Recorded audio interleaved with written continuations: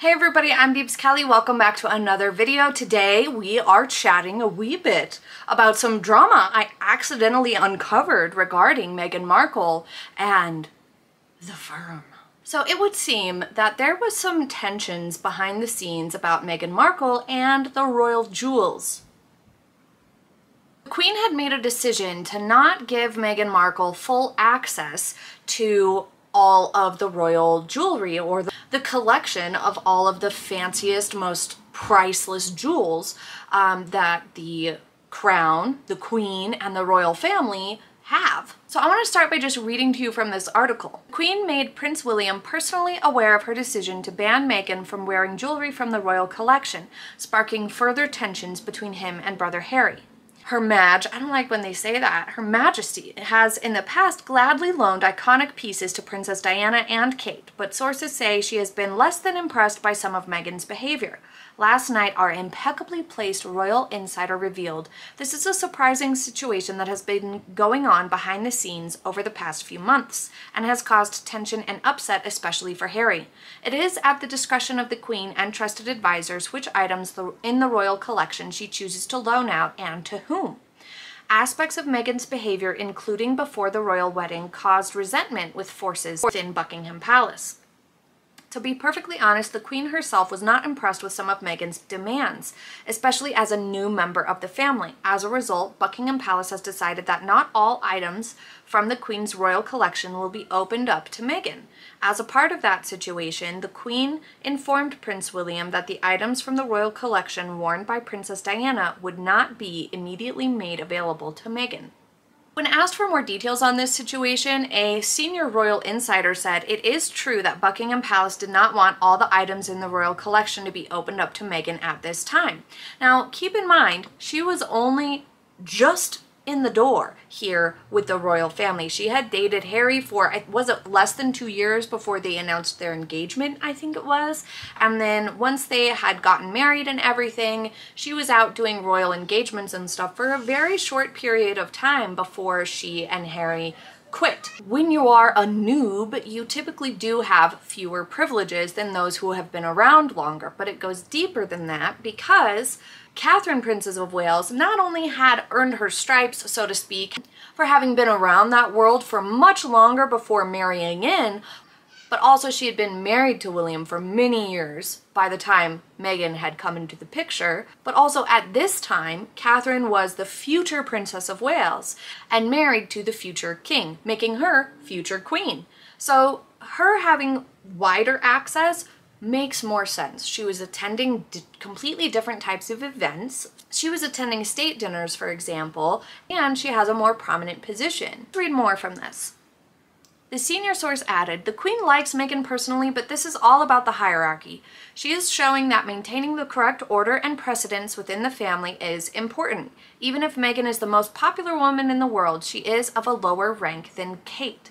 She can be difficult. The Duchess was stopped from wearing an emerald tiara at her nuptials last May, leading hubby Harry to explode, what Meghan wants, Meghan gets. That's just gross no matter who you are to say out loud, even if you feel that way about your spouse or your partner or your loved one or yourself.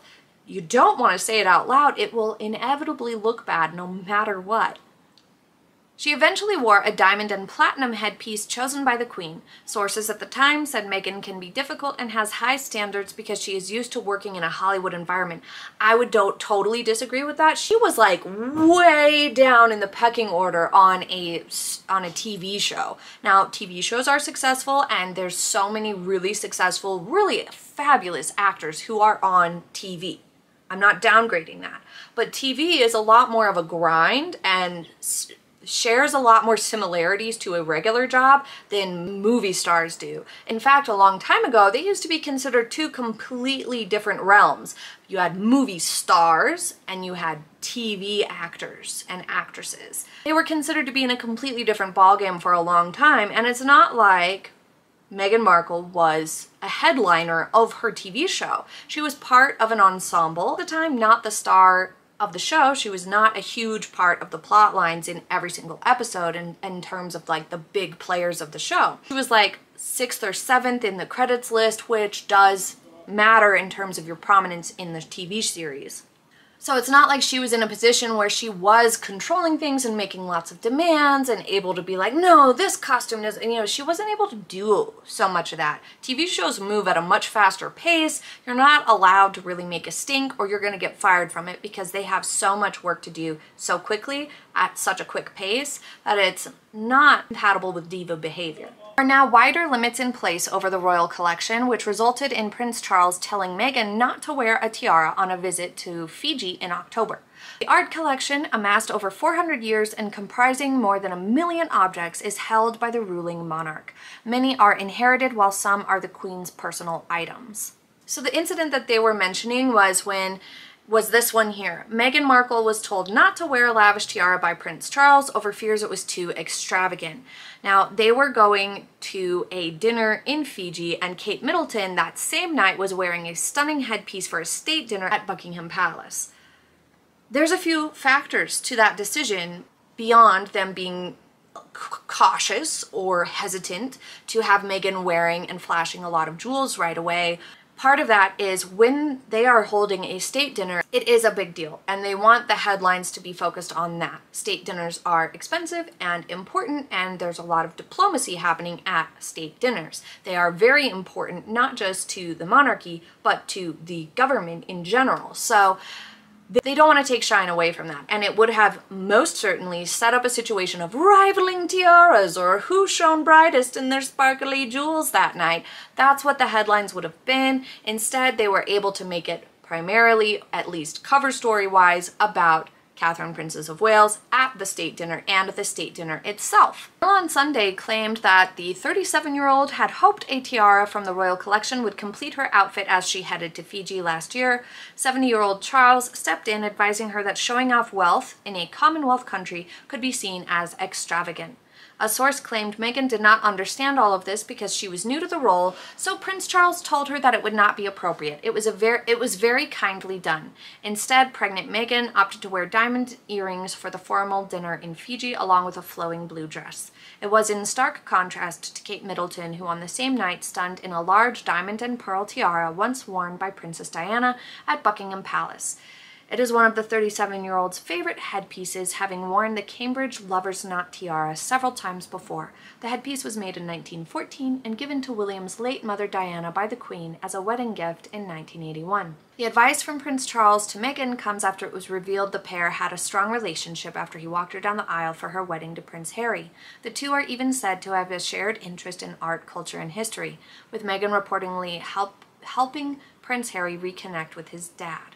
But it's not the first time Meghan has made headlines over tiaras. The Queen reportedly warned Harry over his bride's attitude after a row over which tiara she would wear for their wedding. So the article is trying to put a positive spin on it. So this is one other thing that they had going on behind the scenes that Meghan was probably upset, maybe Harry too, Harry and Meghan were upset that they were not being given access to these jewels and priceless pieces the same way that, that William and Kate were, which on the surface, uh, for a normal family, it would seem a bit odd with the exception of the newbie rule, you know, even if you're new, whether you're new in a relationship, family situation, a job, a community, a church, anywhere that you're new, you do need to earn some trust first, let people see who you are before you expect special treatment or rule bending or all the goodies that you see other people getting. Maybe part maybe a job that you're joining has some perks, like the more senior people who have been there the longest maybe get first dibs on something or get a little bit more flexibility here and there with certain things. You can't expect that until you also have dedicated time to that company, to that job, and shown them that you are worthy of those privileges because those are the exception or the privilege awarded, not the norm entry level thing. So the same thing goes here. The Queen's Royal Jewel Collection is not just for anybody who marries into the family or anybody in the family at all. These are priceless heirlooms and have significance when worn. So it's not just given out willy-nilly to anybody and you have to earn those privileges and earn that respect via building trust. It just makes sense. But behind the scenes, surely Harry and Meghan didn't understand that, and it was part of why they started making a stink. I'm 100% sure of that. But interestingly enough, they didn't mention that on Oprah, probably because people would have understood that that's normal. Get the same privileges as someone else when you first marry in, when you first enter into an organization. But also this point explained here, obviously, as Obviously, Kate, as the next Princess of Wales and a senior member of the family, does have them made available to her. That's not to say items won't be loaned to Meghan in the future if situations change. Meghan has been able to wear jewelry from Diana's personal collection, which she allocated to her son's future wives before her death. As a result, Meghan has worn Di's butterfly earrings, gold bracelet, and an aquamarine ring. Her engagement ring also features two diamond stones from the princess's personal collection. William and Harry's relationship has deteriorated over the past year, partly due to clashes between Kate and Meghan. But I have a feeling that this was part of Meghan's animosity towards Kate, especially that she felt like Kate was being treated so much better than her and was blinded by that and couldn't see the reasonable explanations as to why these decisions were made. It does make sense if you are going to be the future king and queen that you have far greater amounts of privileges, especially if you're like adults. I mean, obviously Prince George is a future king, but he's not gonna have access to jewels at 10, 11 years old. He's gonna, he's gonna have to wait. So even for future kings, there's going to be restrictions in place because these are, as I said, significant things. They have meaning, they are priceless, they are important, they have heritage intertwined. I don't think it would have been a good look for Meghan to have been wearing all these sorts of jewelry that she wanted anytime she wanted. I don't think it would have been very respectful to people like Catherine, Princess of Wales, who probably had to wait quite some time before she was given access to these sorts of privileges. She was probably very gracious and polite and waited for the invitation and waited for guidance or approval or simply asked, what would you like? Me to wear to said state dinner rather than just go in there and try to take over and, and touch everything and do some extra stuff. Meghan had already established not only a reputation for being rather difficult and brash, but there were rumors that she was a bit sticky-fingered and taking a lot of freebies and doing certain things that would have made someone a little nervous to loan out a priceless jewel that had significant meaning to the monarchy. It makes sense. It also has to make you wonder if that was part of the behind the scenes conversation claiming that it was about race. Obviously, these things, as we know, is about behavior, not race, but it makes me wonder if that was part of that. What do you guys think about it? That's all for today. I hope you have a happy day ahead and I will see you in the next video. Bye!